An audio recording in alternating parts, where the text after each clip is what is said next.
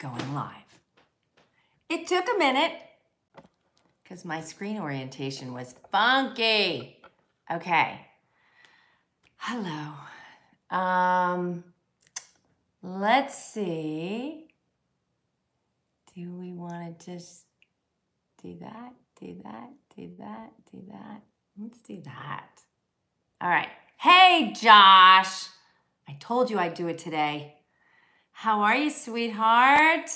Hello, Jamie. I can actually fix the orientation on my phone. How about that? Hi, John. Hi, Christopher. Psycho Orange. Hi, everybody. I haven't been here in a while, so it's good to see everybody. Hey, Michael. Hey, Andrew. Jonathan. I love it. Marlon. Hey, Marlon. I love that you call me a young lady. Thank you very much. BP. Aaron. Oh, thank you, Fist of Fury. Wild Who. Jack's here. Oh, I love it. Turtle Power Cosplay. Hey, Trevor. Uh, hey, Marlon. It's good to see you. Hey, Eric. I know. I've missed you guys too. It's been um, a while since I've done this offer to Hi Love Bug live. Hello from Argentina. I love that. I love that. I love that. Um, okay. All right, we've got some folks here. So, you know, I wasn't around all last month. Um, hey, Geeked Out Turtle Fan 42. Yeah, I miss you too, Josh. Um, I'm glad I'm here. I'm a little disheveled, but we don't care. We don't care. We can be a little disheveled. Um, Wild Who? Yeah, it was great to meet you in Raleigh, but I don't know what your name is. I just that's your screen name. Hey, Brittany. How are you, Lee? I love it. Josh wants to know if I'm going to do a superhero or villainous next. You know what? You never know. You never know what's coming down the pike. Um, okay, so I Oh, you're so sweet. I'm trying to get this thing off my, there we go. Now I can see everybody. Andy, hey, how are you, my friend? Um, okay, Marlon from, oh yes, Atlanta. Okay, yes, yes, yes, that was, that was it. Uh, Brittany met Kimberly and showed you our picture. Oh, good, good, good, good. Yeah, I had met, I had met you in, where was it? Was it Raleigh? And said, show Kimberly this picture. So I'm glad that she did. All right, so haven't seen you in a while. You know, it's summertime and you've got to take a little time for yourself to just kind of, I'm trying to adjust this. I'm sitting under my new skylight. I just got a new roof put on, which is a thrilling thing. Here, I want to just try to make this a nice frame for everybody. There we go. Um, yeah, I just got new skylights, and I have to say, um, for League of Their Own Prime, no secret. Uh, I got to start reading these. Um, but where I live, uh, we get a lot of rain and a lot of weather. And so um, you know, you got to have a good roof. And our roof was just crazy, not good. So we decided while we were doing it, let's go ahead and put on um, in some skylights. So um, I love it. I have these views that are just killing me. Every time I come down the stairs from my bedroom, I'm I I'm just in heaven and I'm so grateful that I'm able to put a roof on my house or a roof over my head just gratitude, just gratitude for everything. Um, so last time I was supposed to be here in July and I had asked people to submit questions and then we had a water main break. It was not um, so much fun. There's still kind of a big hole out there that we're working on. It's all good. It's all good. We have water. That's what matters. Um, but I had to be all hands on deck um, and help my husband, who is just the most amazing man when it comes to fixing, building, making anything. It's just wonderful what he can do.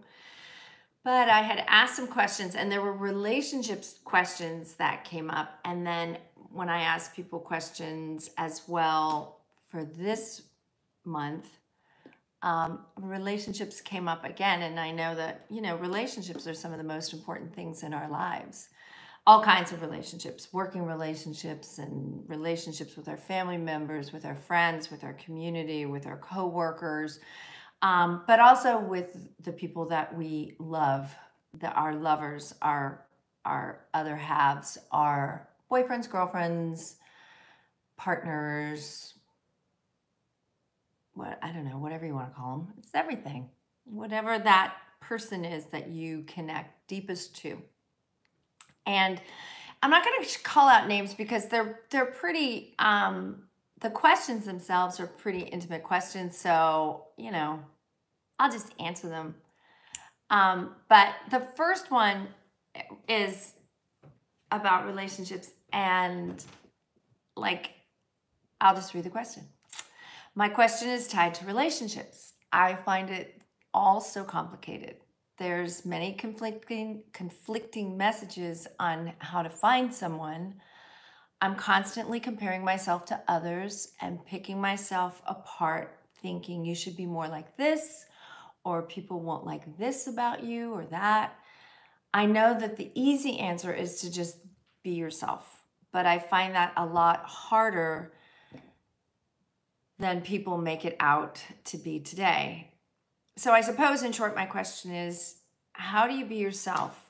And what gives you the strength to continuously and unashamedly be yourself? Um, so where do you even begin to unwrap this onion? It is complicated. I find the strength to continuously and unashamedly be myself by practicing doing that, just practicing it. I think the most important relationship that you have is with yourself. And we live in a world, and certainly I can only speak from the United States, but it has been my experience that this is just a human characteristic that we have been trained away from our own infinite wisdom, our own true selves. Like the things that you love, and if people don't, yeah, Sun Tzu says your first battle is always with yourself. Lord Jimbo, you always come in with wisdom. Um, and it is, it's, it's really allowing the person that you were born as to see the sunlight in their face, in the face of other people not agreeing with it, parents who maybe told you you were too loud or too much or not loud enough or not enough, or messages from teachers you're not smart enough or you need to sit still or you need to be quiet or you why don't you ever answer your you know raise your hand and answer a question? And you know it's really challenging because biologically we are wired to be part of a pack we are wired to be part of a community to to um, to not be ostracized by our tribe in in which we will be left behind. So when we were nomadic or when before there were cities, before when we were first biologically created, we were created for connection. And you know, it's what a mother does with a child um, when they're first born. You know, there is that connection that must be made. And so we're biologically wired to connect with each other. And you don't want to, you know, FOMO, fear of missing out. You don't want to be left out of the crowd. So that's a biological imperative that we have. And we don't really live in those circumstances anymore, and yet we do. So being yourself living your truth can get you into trouble.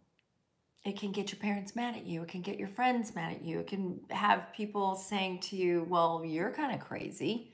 I'm going to try to, I'm in a lot of sun here. Sorry about that. Um, you know, stop being you.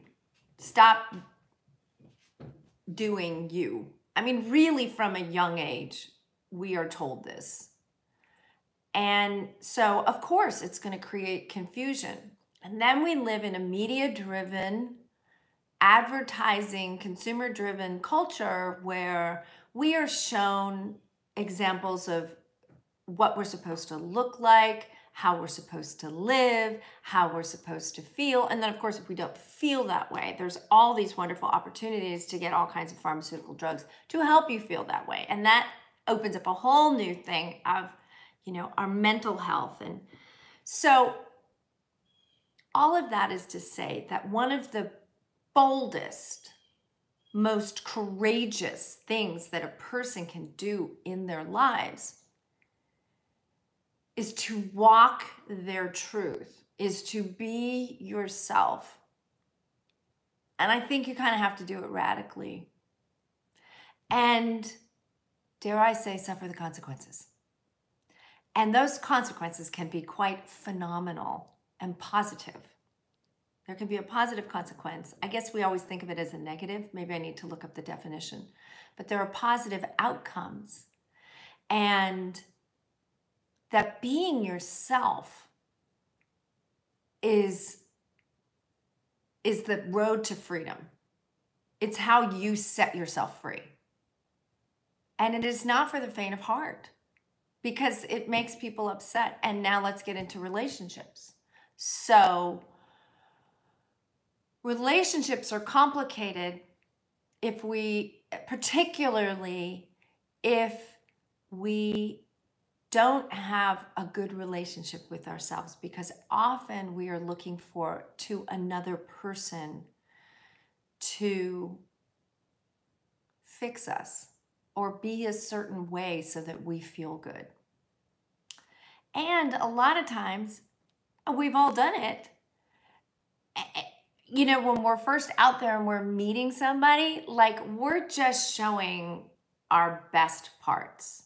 All the shiny, pretty, charming, charismatic, witty, funny, smart, together parts. Except none of us are all of that all the time we have those are components of who we are. That is a piece of who we are, but it is not all of who we are. We are complicated. We have days when we've got it together, and days and weeks and months and sometimes years when we don't. And so oftentimes we are looking to other people to fill our voids and that is a fruitless pursuit. Nobody can ever fill your void. Not really. Not forever. Not for for longer than a little while. And asking somebody to do that for you is pretty rough for the other person because as soon as they don't behave or show up the way that you want them to, there's hell to pay, then um, then it's absolutely, you know, a recipe for an unhealthy relationship. so, back to the question here, because I feel like um,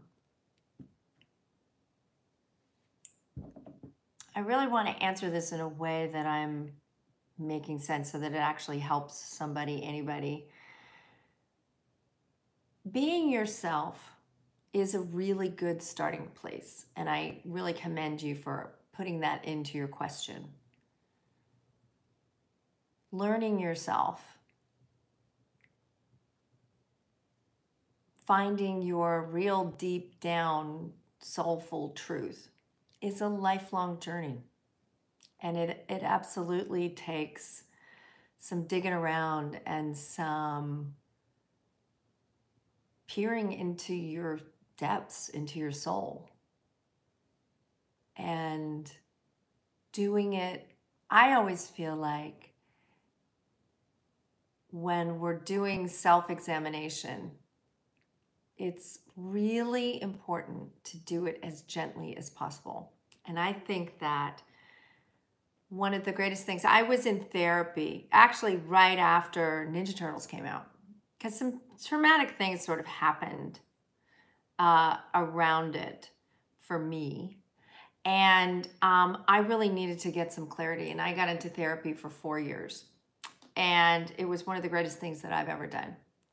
And one of the things that we did in therapy is we did a lot of inner child work. And it was sort of going back to childhood wounds and and going through some of that, which I don't think is absolutely necessary necessarily, except that there's a piece that was really, really helpful, which was that um, I started treating myself, that child in me that was wounded, that child in me that didn't always get what it was that she really needed, that child that was misunderstood, that child that was not always um, treated with kid gloves. And and and I came from a great family. I have amazing parents and I I am very blessed on that score. And I think even within that, we're all such unique little beings who have very unique needs and desires. And it's it can be very difficult to have those met, especially uh, you know, with parents who are dealing with and going through their own journeys.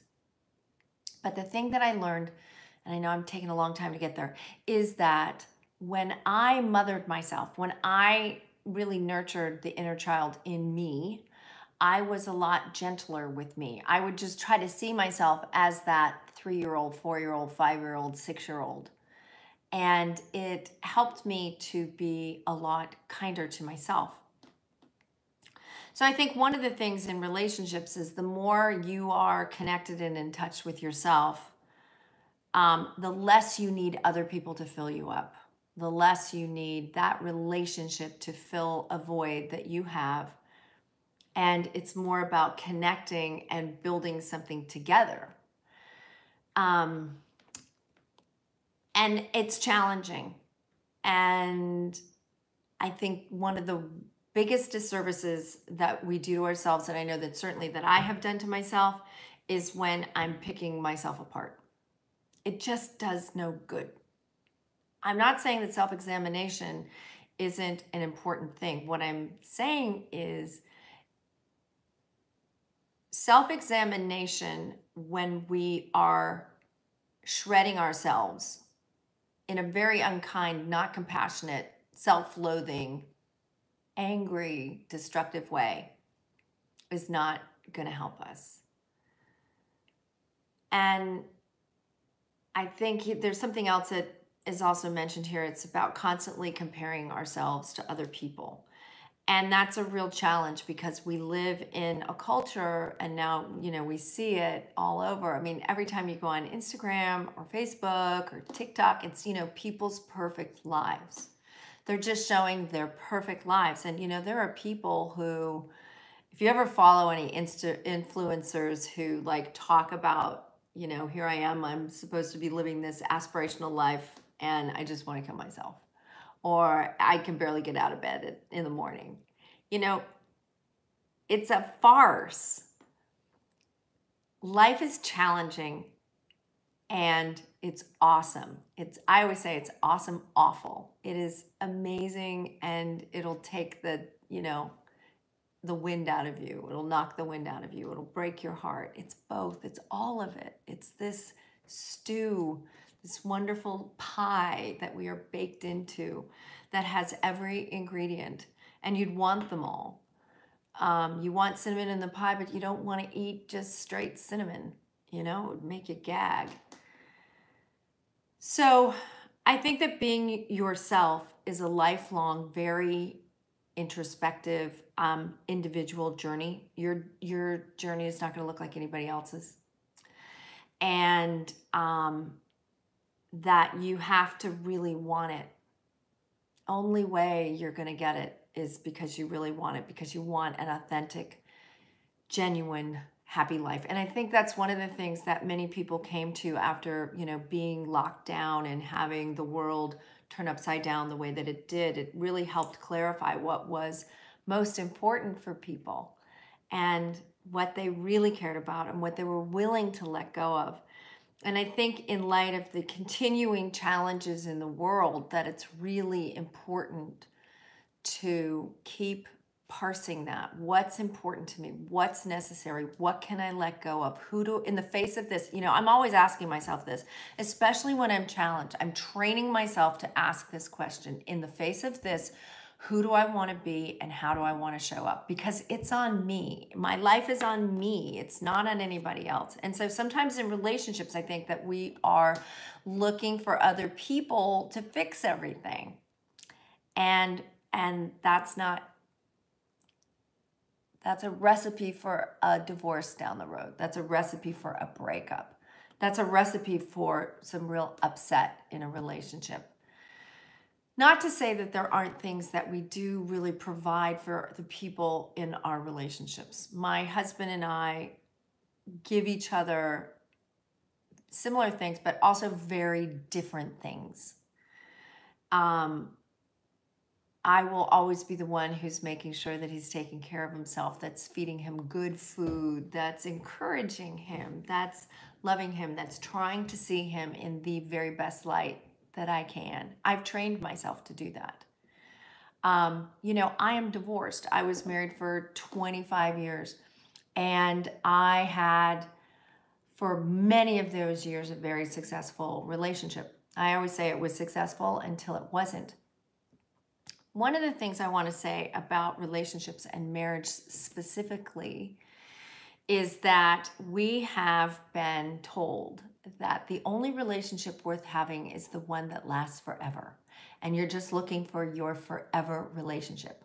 Well, let me ask you guys how many long relationship happy long and happy not long and unhappy not long and frustrated but how, how many long happy relationships do you know? Do, do you count among the, the people you know? How many marriages do you know that last you know 40 50 60 years?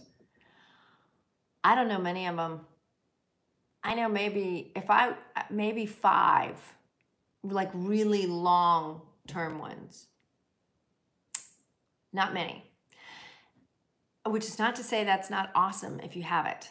But I think it I think in relationship relationships are here to teach us and to help us grow. And I think that um, we have been sold this, I'm just going to say it, this bill of goods that a long-term relationship is is like the measure of your success. And I certainly felt that for many years. And I had to really like get clear with myself when I was getting a divorce that um, not being married did not mean that it was not a successful relationship. It meant that we had reached our expiration date and that it was time to let go and move on. Easier said than done. I have children. We had a whole 25, 27, almost 28 year life together. We still share children. So it's been really important that we figured out a way to still be friends with each other. But I believe that relationships oftentimes are here to teach us and they're here for a certain amount of time and then we're they're done. They're done. And it's not an indictment of the goodness or badness of that relationship necessarily. That was really long winded, and I don't know if um, that helped, but I really hope that it did. Um, also, uh, they asked when you feel as though you've been hurt um, by someone close to you, how do you learn to form new relationships without the fear that they'll just hurt you the same way? How do you trust people? And I gotta say, you just do it. You just do it. You just take the risk and trust again. I feel very strongly like when your heart is broken, it's cracked open, and now you're bigger. You're bigger. The idea of closing down after you've been hurt makes a lot of sense, right? It does. And it will not bring love and fulfillment into your life. You've just got to be willing eh, to um, to take the chance. You got to be willing. And it's hard. It's it's hard. Somebody says it's the punch that you don't see coming. And yeah, that happens. Life is risky. Relationships can be risky, but they're really worth having. Because if you're here to learn and grow, then you will find that every relationship is here to treat teach you something really important about yourself. And all you can do is when you're having problems trusting other people, it might also be pointing that you to that you're really having trouble trusting yourself, trusting your judgment. How could I have gotten it so wrong? I understand that. And it's hard. It's, you know, there's no simple answers to any of this. Relationships are very, very complicated.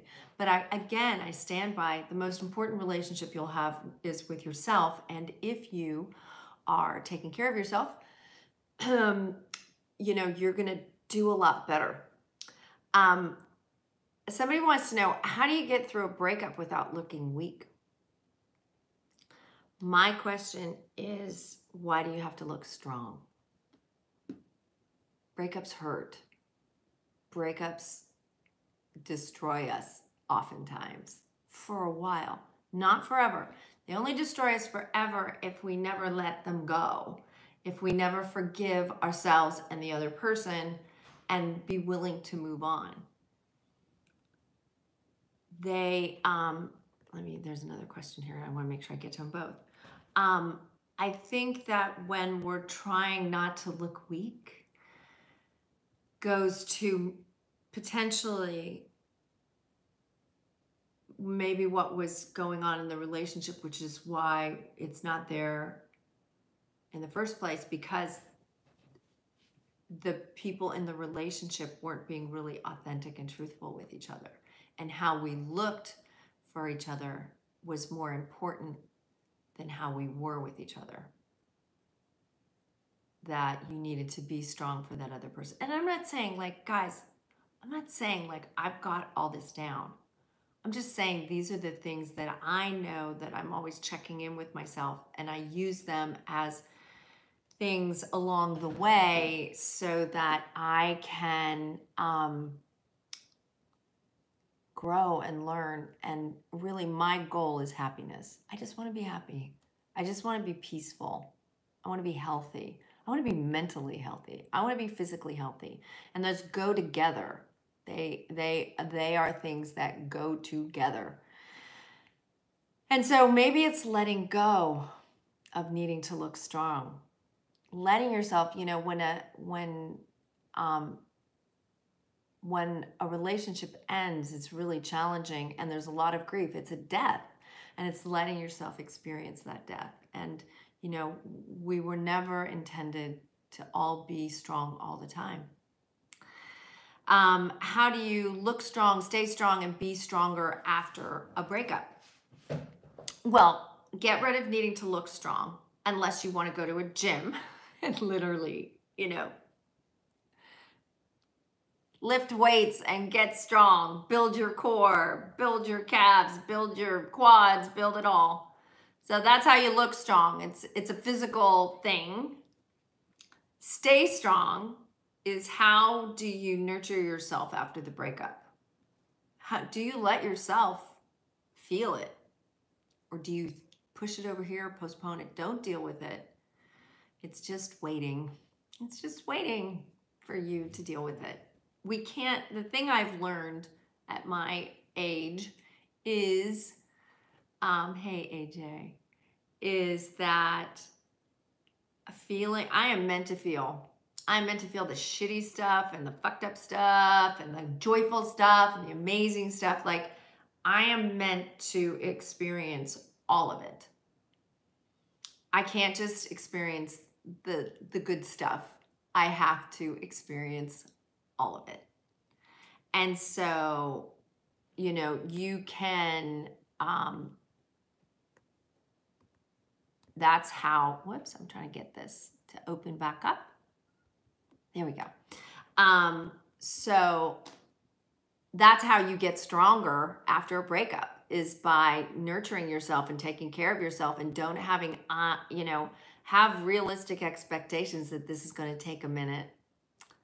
It's going to take a minute to get over and that's okay. That must mean you're human.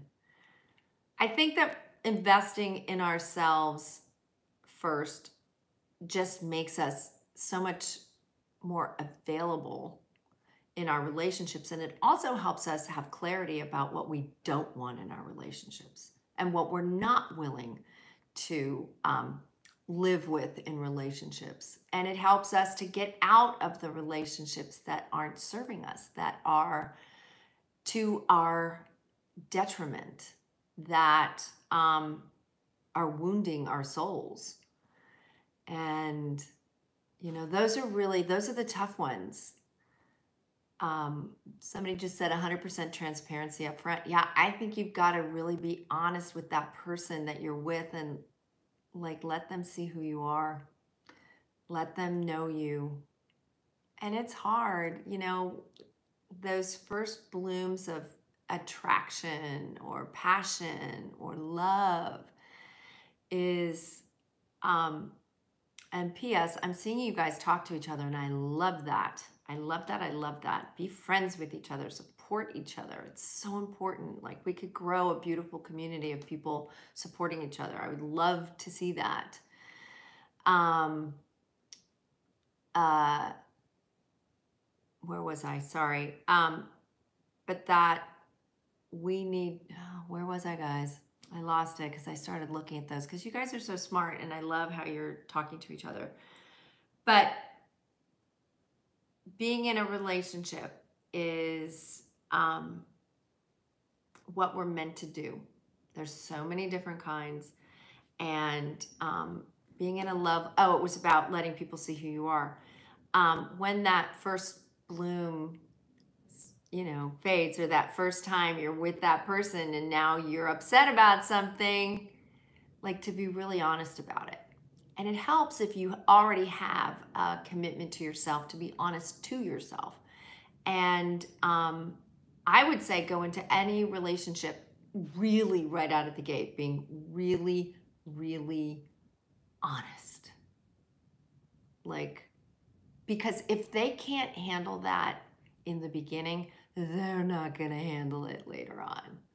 It also lets you know this is a person who um, is worth being in relationship with or that I can trust to be honest with. And that's a another way. It's like that's how you start building trust. And that's how you learn trust. Like take the cue. The person's not hanging with you. Take the cue that somebody is not um, responding in kind. Well, now you know. Maybe that's somebody who you can't trust. You know, they always say, like, the red flags were there, but I just didn't want to see them because they were so hot, or they were so successful, or they were so smart, or whatever, or they were so nice. But there were red flags everywhere, and we've all done it. And it's okay because then we learn. Like you get out of that relationship and you get out of that situation where you got sucker punched or beaten up, you know, metaphorically, hopefully not physically. And um and that's how we learn. That's how we learn. And that's why it's like I say, relationships are not necessarily meant for all all time and eternity. They're just meant to teach us. And that's so funny. Uh, you guys are hilarious. Um, it's 35 minutes. I've been going on and on. There's so much that I could talk about about relationships. We can keep the conversation going. It always, I really love it when you guys drop in comments and let me know, um, you know, what's on your mind, what you're thinking about. We don't always have to, you know, talk about serious subjects. We can talk about all kinds of things. Um, but I think that relationships are up, man. They are up. And uh, I love you too, Hyro. Um, oh, I love it. Robbie Mason. Are you from Baltimore? Calling me hun. I love that. Um, it's they're challenging and they are are you know the I will say this. One last piece. Um, I have talked about this before. Um, which is um, the people who I've had the worst experiences in my life. I call them my sacred teachers. They have taught me more about myself, who I am, what I am, what I will tolerate, what I won't tolerate, what I give away too easily, what I should be asking for what uh, you know, what my boundaries are, how I gave away my boundary, you know, our sacred teachers, the people who have challenged us the most, really is something that we can learn from. And if we can wrap into that forgiveness, forgiveness for ourselves, for being in relationship with this person, and ultimately forgiveness for them because hurt people hurt people. And it's like forgiveness, not, you've got to really mean it, but it is the ultimate healer of our hearts. It really is. Anyway, I love you guys. Forgive the haters. Pineapple is a valid pizza topping. It's true. It is valid, and I did tell you that. I love you guys so much. Um, you know, Friday on Fire, yes. And Wake Up Wednesday, yes. And I'll come up with the name on Thursday.